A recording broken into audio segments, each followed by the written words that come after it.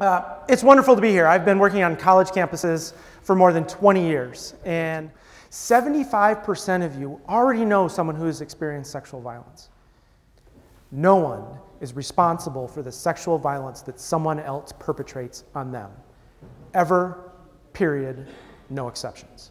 Empower them to do that. Someone who has experienced sexual violence has had their choices and their decisions taken away from them. So these are four things that I want you to do if, you, if anyone ever comes to you and says, I've experienced sexual violence or you think that's going to happen. Uh, make sure they're safe, believe them, it's not your fault, and empower them to make choices. Make I would argue, because men are overwhelmingly the perpetrators of all forms of sexual violence, that we need to shift our thinking and start thinking about sexual violence as a men's issue. We want to be proactive and prevent sexual violence from happening to anyone, period.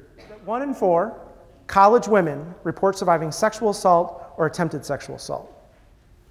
84% of them did not describe what they had done as illegal. The problem is with how we as a culture have taught him to hook up and have sex his whole entire life. We literally teach people to rape other people. We just don't call it that. Also glad you're here. Could you tell us what the difference is between sex and rape? We're all super confused. That'd be super helpful. No one has ever asked me to do that. The reason no one has ever asked me to do that is because we are so well miseducated. Is informed consent at every step of the way, affirmative consent that is freely given. We tell people that sexual violence is when someone has said no or stop, and that's a terrible definition. The accurate definition is anything other than a green light is not consent. So, in order for consent to be valid, someone has to be able to make another choice. If you're not able to say no, then you're not really giving consent. Valid. The trouble is, our culture teaches us if you're interested in someone and they're not interested in you, buy them another drink.